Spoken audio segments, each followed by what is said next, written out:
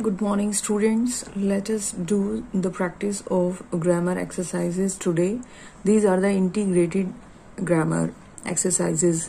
It means that all grammar topics are mixed in it as you have already done the grammar in ninth class also. So let's do some grammar exercises today. So see the question. Choose the correct option to fill in the blanks to complete the following passages.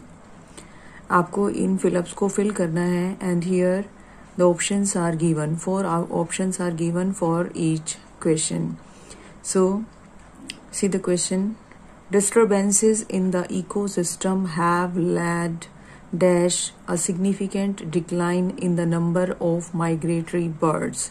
So, देखिए यहाँ पर कि ecosystem में जो disturbances हुए हैं have led lead जो है वो थर्ड फॉर्म है लीड की। लीड लेड लेड होता है।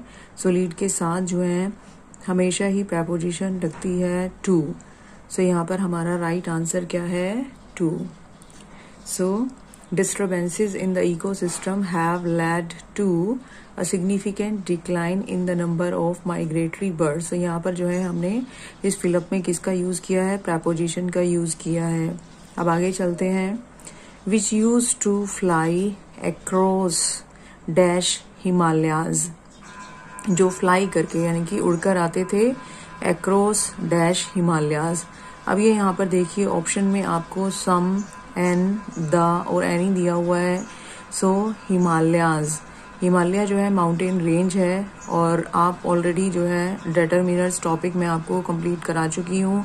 तो वहाँ पर मैंने आपको समझाया था कि जब भी माउंटेन रेंजेस की बात होगी तो आर्टिकल्स में से जो है ए एन द में से क्या आएगा? हमेशा द आएगा। So the is the right answer which use to fly across the Himalayas in dash winter months to warm marshy area around Kolkata so dash winter months here the options are the some few many so so, हम जो है particularly winter months की बात कर रहे हैं तो हो जाएगा क्या आंसर हमारा? In the winter months so particular months की बात कर रहे हैं कौन से विंटर मंथ्स की बात कर रहे हैं तो पर्टिकुलर नाउन जब होता है तो उसके साथ द आता है।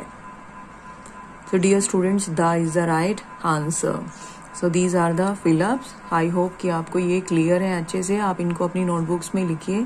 ग्रामर नोटबुक में। आप जो है, इसको हेडिंग डालकर grammar exercise do it okay students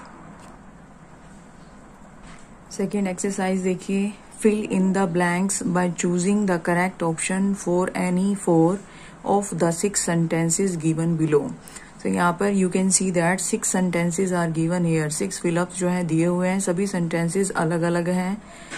तो इनमें से हमें कोई फोर करने हैं because this question carries four marks but here six are given so you have choice of not doing two but I will suggest you that you should do all the six so that whichever four are right they will be corrected and you will be given full marks so let's start doing it So the first question is don't disturb her.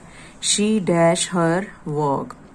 So don't disturb her. ये जो part दिया हुआ है you can see which tense is followed here. Present simple tense is followed here. So don't disturb her. उसे disturb मत करो. She dash her work. So यहाँ पर जो है four options हैं does इज़ डूइंग डिड और वॉज़ डूइंग सो दोनों ये पास्ट टेंस के हैं तो ये तो हमारे आंसर्स नहीं हो सकते क्योंकि प्रेजेंट में बात हो रही है।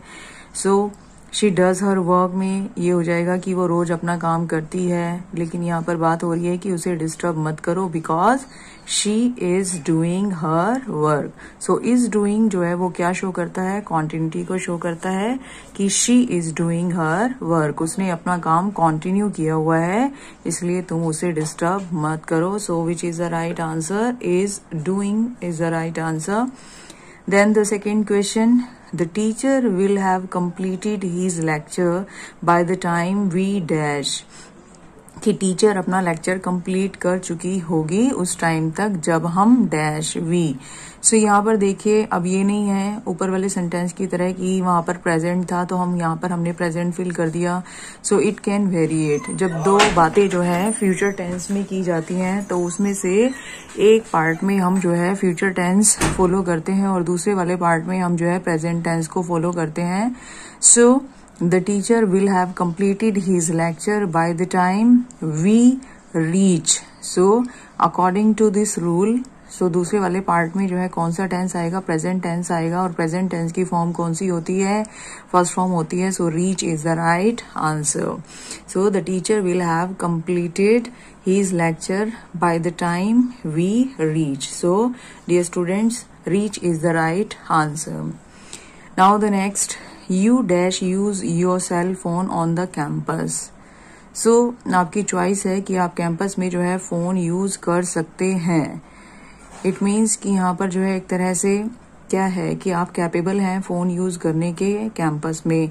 तो यहाँ पर जो है कैपेबिलिटी की भी बात हो रही है और अगर हम कहें कि इनफॉर्मल तरीके से परमिशन भी दी जा रही है तो दोनों ही केसेस में जो है क्या आएगा हमारा answer what is the right answer can you can use your cell phone on the campus so can is the right answer then the next is if you dash see him give him my regards कि अगर तुम उससे मिलो तो मेरे regards यानी कि मेरी रिस्पेक्ट जो है उसको देना मेरी तरफ़ से जो है उनको रिस्पेक्ट शो करना। सो so, यहाँ पर देखिए ऑप्शन है would will should shall so these are the four option what do you think what is the right answer if you dash see him if you will see him कि अगर तुम उसे मिलो give him my regards so here will is the right option so the next is a pack of cards dash lying on the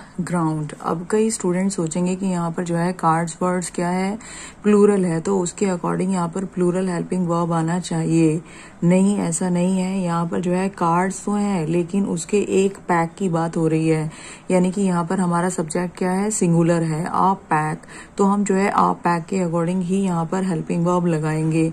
अब यहाँ पर singular singular helping verb जो है हमें क्या दिखाई दे रहा है? हैज़ दिखाई दे रहा है और वॉज़ दिखाई दे रहा है।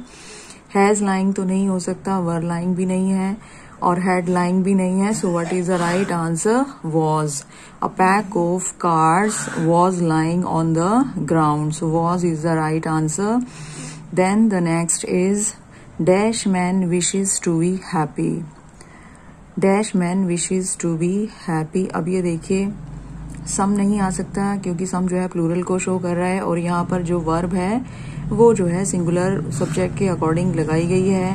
Any man wishes to be happy ये भी रोंग है। Each man wishes to be happy ये भी अप्रोप्रिएट नहीं है what is the appropriate answer every man wishes to be happy so what is the right option here every every man wishes to be happy so in this way you will get the grammar exercises in your exam so you have to do it these are the integrated grammar exercises okay so mix grammar rules are followed here I hope कि आपको ये जो मैंने explain किया है, आपको समझ में आया होगा। So you have to do it in your grammar notebook okay students thank you